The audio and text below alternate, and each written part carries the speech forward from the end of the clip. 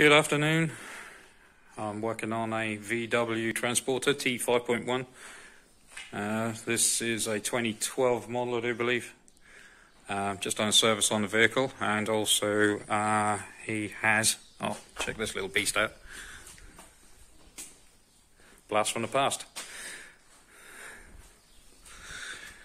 Uh, he had a tachometer, German import, and he wants it taken out. But the problem is when you take out the tachometer, this is what happens with the mileage and trip odometer. Um, so I've just tried it with uh, VCDS and I wasn't sure what it was actually going to come under, but I found it and got it to work. So now I'm going to try it with the X431 for those of you who are interested. Um, to uh, bring back the dashboard.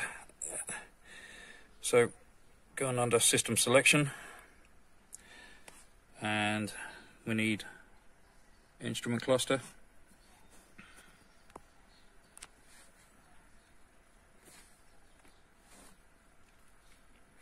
Then you need adaption.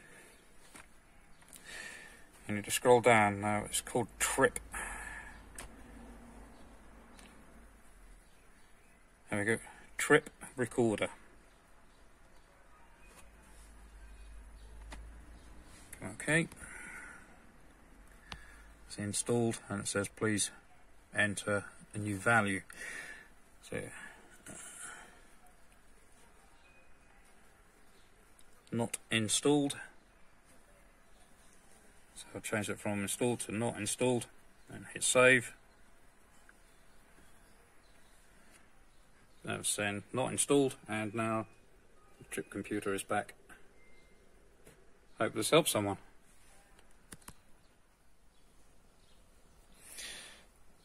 Thought I'd do a, a, version with the VCDS for people to see it. I've already done it. Um, as you can see, the tripometer is there. But just to show for someone with VCDS who doesn't have um, a scan tool, the same as mine. Um, right, let me just have a look here. So, select control module. And you want to go for instruments.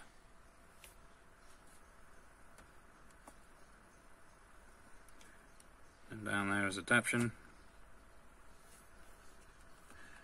And into the search bar, you have a great long list.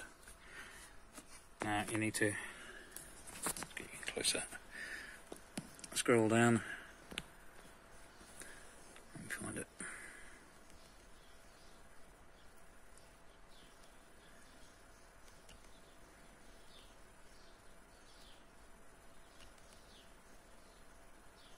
Hmm, I think I've gone too far.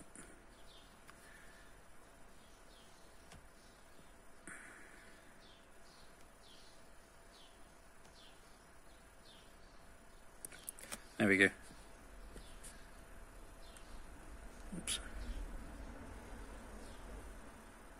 Trip recorder. So what you do, select that.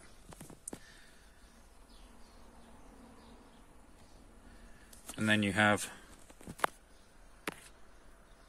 not installed or installed. So if you've had one installed and you don't want it installed, select not installed and then go for do it.